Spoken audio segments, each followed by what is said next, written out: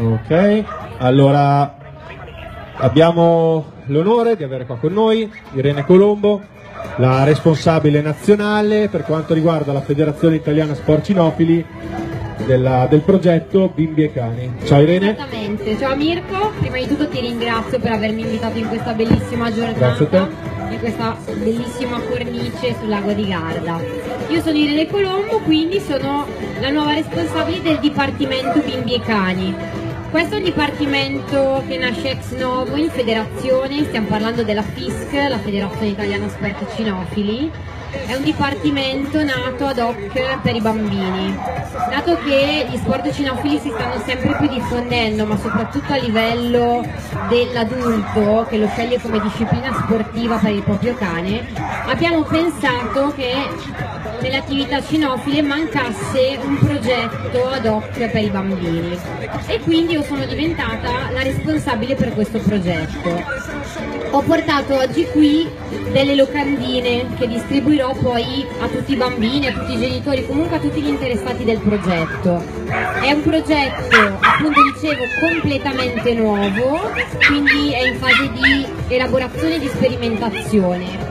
Eh, l'intento della federazione è quello di eh, promuovere le attività cinofile per i bambini in tutti i centri cinofili.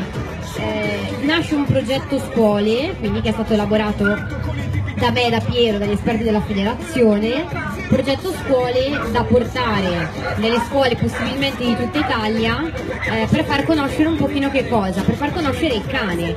Quindi se pensiamo a quante famiglie ormai hanno il cane a casa, ormai sono tantissime, si parla di cani di varie razze, oggi no, noi siamo nel contesto eh, dei Jack Russell, dell'associazione Jack Russell Italia, eh, però questo interessa cani di tutte le tipologie e quindi noi vorremmo insegnare ai bambini il corretto approccio al cane, insegnargli non solo il corretto approccio ma anche che ci si può divertire con il cane, quindi può essere un'alternativa agli sport convenzionali quali pallavolo, calcio, basket, esiste l'agility, esiste il disc dog, esistono tutte le varie discipline nell'ambito della federazione. Quindi a noi preme eh, far conoscere un pochino l'ambiente cinofilo, per cui stiamo tentando di eh, preparare una didattica, un programma, in maniera che tutti i vari istruttori nei vari centri cinofili eh, sappiano cosa proporre al bambino a seconda dell'età, a seconda di quello che può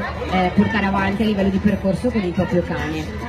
In più stiamo studiando che cosa? Una vera e propria didattica per le scuole, quindi un pacchetto da presentare a, alle scuole, quindi eh, soprattutto scuole primarie e secondarie, eh, in maniera da coinvolgere più bambini possibili ovviamente e più famiglie possibili.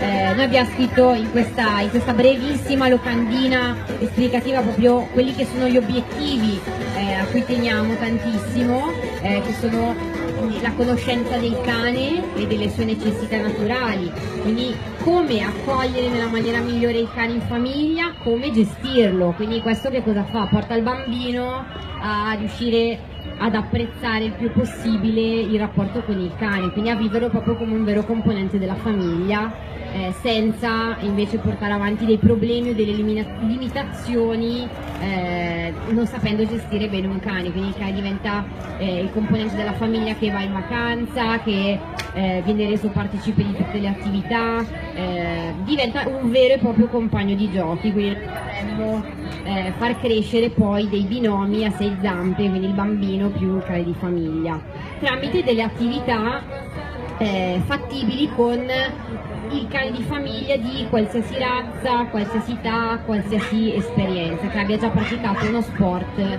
oppure no. Quindi questo in pratica è il nostro progetto. Lo ripeto, tutto sperimentale, ehm, stiamo partendo da zero, eh, l'importante per noi è iniziare a farci un po' conoscere, quindi ringrazio ancora Mirko per questa possibilità che mi dà oggi.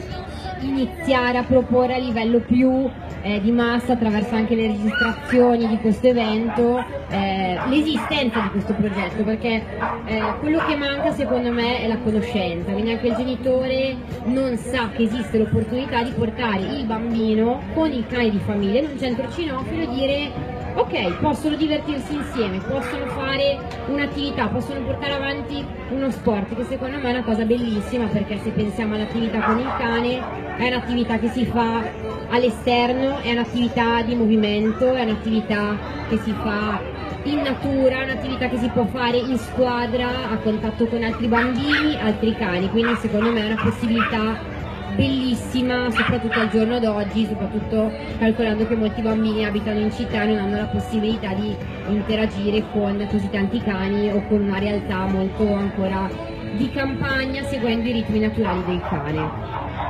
Giusto. Però sfattiamo un tabù. Esiste una razza di cane migliore dell'altra per il rapporto con i bambini? No, direi di no, nel senso che eh, quello poi non è una questione di razza, non è una questione proprio di predisposizione ma una feeling che si crea con il proprio cane, quindi che sia taglia piccola, media, grande, che sia un mastino, che sia un cane da caccia, oltre alla predisposizione che il cane ha, esiste poi il legame che io ricerco col mio cane.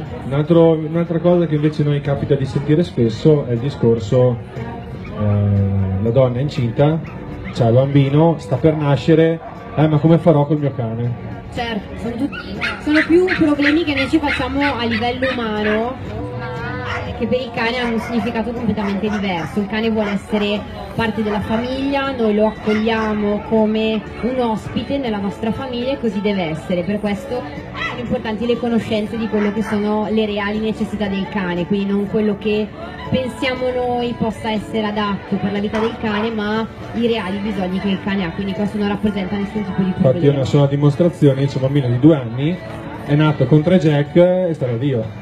Perfetto, e si divertirà anche un sacco e magari crescerà anche con una sensibilità maggiore rispetto a dei bambini che non hanno Infatti io penso che un bambino che può nascere in compagnia di cani ok, secondo me è più fortunato un un bambino che nasce invece senza. Assolutamente, una bellissima esperienza. Innanzitutto che... penso sia un gran compagno di giochi.